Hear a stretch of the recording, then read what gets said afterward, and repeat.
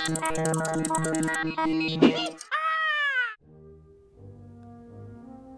and welcome to Be Dumb.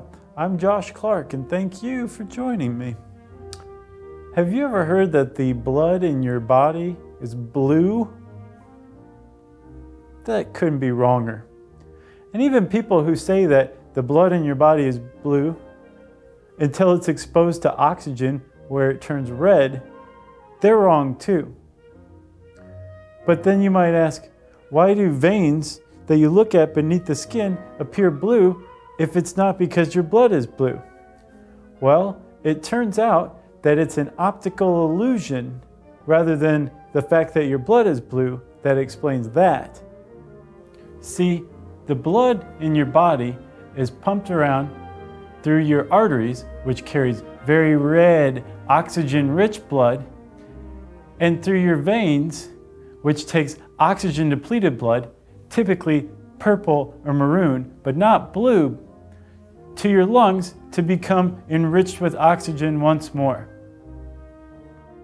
The optical illusion comes in when we look through our skin, which is clear, down to a blood vessel through fat.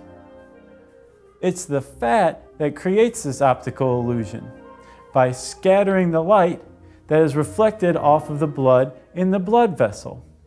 See, the fat reflects back blue more than it does red, which it scatters throughout the tissue, which means that our blood vessels can appear blue because that's the color that makes it back to our eyes.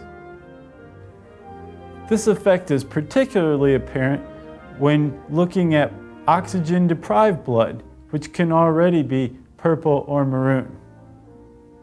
So the next time somebody says that the blood in your body is blue, you set them straight. Tell them it's an optical illusion and tell them Josh sent you. Thanks for joining me.